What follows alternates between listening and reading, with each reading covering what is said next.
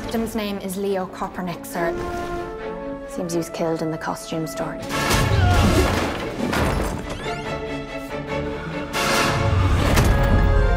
And then he was deposited here. Staged, so to speak. Sorry, sir. How much longer do you intend to hold us all hostage? Or is that the idea? Gather all the suspects and interrogate each of us in turn until the mystery's solved? Mervyn Cocker Norris, overrated playwright. Celebrated, playwright? Oh, I'm so sorry, sir. I can't read my own handwriting. There was an incident.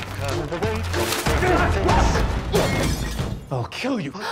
It's as good as a confession. Let's not jump to conclusions, Constable. What do we have here? Working late, huh? He killed Köpernick to hush up the affair. Case closed. I'm doing it again, aren't I, sir? Jumping to conclusions. Yeah, a little bit.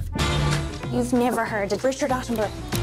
A real life detective. I understand that you came to blows the night in question. It was me, Inspector. I arrest you for the murder of Leo No, Köpernick. no, no. We have a serial killer on the loose.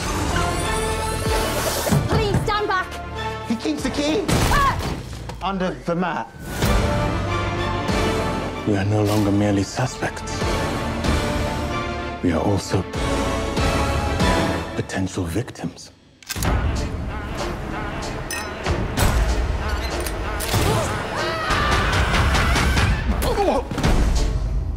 So what did he do that made you suspicious? It wasn't so much what he did, it was more the way he did it. How'd he do it? Sort of suspiciously.